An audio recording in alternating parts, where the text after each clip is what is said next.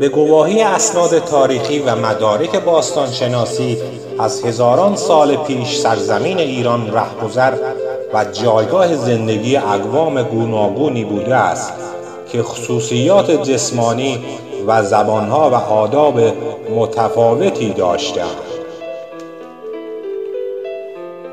پیش از استقرار آریاییان در این فلات اقوام بومی میزیستند که امروزه آنها را به نام آسیانی می‌شناسیم اقوامی که خط و نوشته از خود بر جای گذاشته یا نامشان در اسناد و کتیبه های قدیم آمده عبارتند از ایلامی ها که در خوزستان و حدود پشت کوه میزیستند گوتی ها و لولوبی ها در نواحی کرمانشاه کاسی ها در دامنه های زاگرس و لرستان اوراتوها در آذربایجان آمارتا و تیپوری ها در حاشیه جنوبی دریای خزر اورارتوها از قرن نهم تا هفتم پیش از میلاد در ارمنستان کنونی و شرق آسیای صغیر و شمال آذربایجان حکومتی تشکیل داده بودند.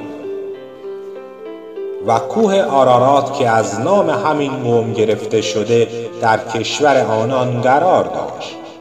این قوم تمدنی درخشان داشت و با کندن کاریسا و آبادانی زمینهای بیحاصل در کشاورزی پیشرفت بسیار کرده بودند. کاسیها در نیمه اول هزاره دوم پیش از میلاد در دره های زاگرس به سر می بردند و حدود شش گرد بر بابل حکومت کردند.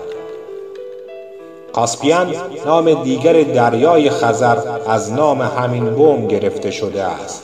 شهر امروزی آمل و ناحیه تبرستان نام خود را از آمارتها و تیپورها اقوام قبل از آریایی ساکن سرزمین ایران گرفته است.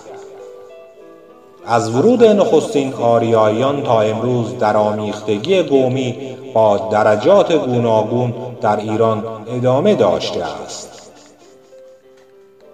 اسکندر در فتوحات خود سرداران و سپاهیان مقدونی و یونانی را به ازدواج با ایرانیان تشویق می کرد هنگام حمله اعراب قبایل و طوایف بزرگ عرب به نواحی مختلف ایران کوچ کردند. و رفته رفته در جمعیت ایران جذب شدند. بعدها قبایل ترک در گروه های بزرگ اشایری به ایران هجوم آوردند. سلجوقی ها بزرگترین دسته های این مهاجمان بودند. با حمله مغول سرزمین های خالی را توایف پرجمعیت مغول پر کردند. پس از آن حکومت های ایران به منظور پاسداری از مرزهای کشور قبایل بیابانگرد را از نواحی دوردست به داخل ایران کوچ دادند. ازبک ها بربرها و ترکمنها از این طریق به تدریج وارد ایران شدند.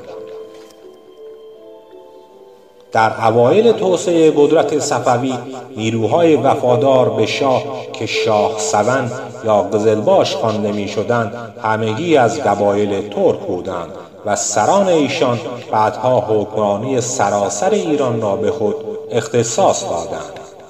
بدین ترتیب آمیزش اقوام گوناگون از سویی و وضع جغرافیایی و آب و هوای مناطق گوناگون در مشخصات ساکنان نواحی مختلف ایران بی تأثیر نبوده است. به عنوان نمونه می توان اندام بلند و تنومند ایلنشینان مناطق زاگرس را نام برد که آنها را از ساکنان کناره های دریای خزر که قدی نسبتا کوتاه و چهره و موی و چشم روشن دارند متفاوت می کند این خصوصیات در مورد نواحی جنوب کشور از جمله خوزستان نیز قابل توجه است زیرا ساکنان این نواحی نیز برخی ویژگی های همسایگان از جمله اعراب را به خود گرفتهاند. مردم امروز ایران از نظر روش گذران زندگی می توان به دو دسته اصلی تقسیم نمود. مردم ساکن شهرها و مردم روستاها و ایلات. ایل کلمه است ترکی و از زمان مغولها به فارسی یافته است. ایل معمولا به اشایر و قبایلی اطلاق می شود که در جستجوی چراغگاه برای دامهای خود در ایام سال تغییر جا می دهند.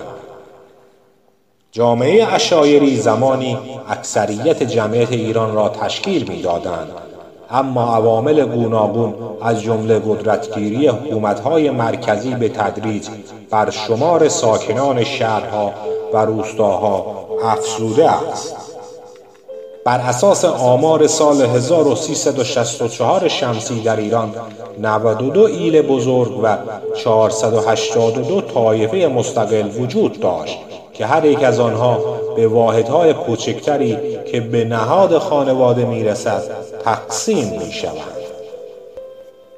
از سه ویژگی مهم زندگی ایلاتی یکی دامداری سنتی است که اساس اقتصاد آن به شمار می رود دیگر جابجایی دائم یا رفتن به ییلاق و مناطق سردسیر در فصل گرما و بازگشت به گشلاق یا نواحی گرمسیر در زمستان است.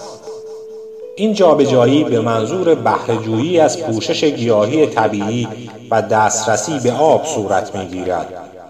کوچنشینان نواحی البرز و دامنه های زاگرس معمولا کوچ عمودی دارند.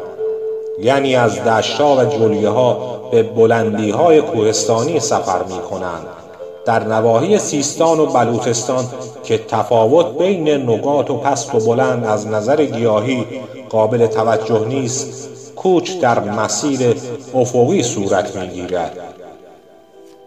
سومین ویژگی اشایر وابستگی اعضای آن به ساختار سیاسی و اجتماعی ایل است که بر اساس آن رئیس یا خان یا ایلخان اختیار تصمیم گیری داوری و قدرت اجرایی دستورات را یکجا دارد. این خود از عوامل اساسی نیرومندی ایلات و توانایی آنها در سرنگونی و تأسیس حکومتها در طول تاریخ بوده است.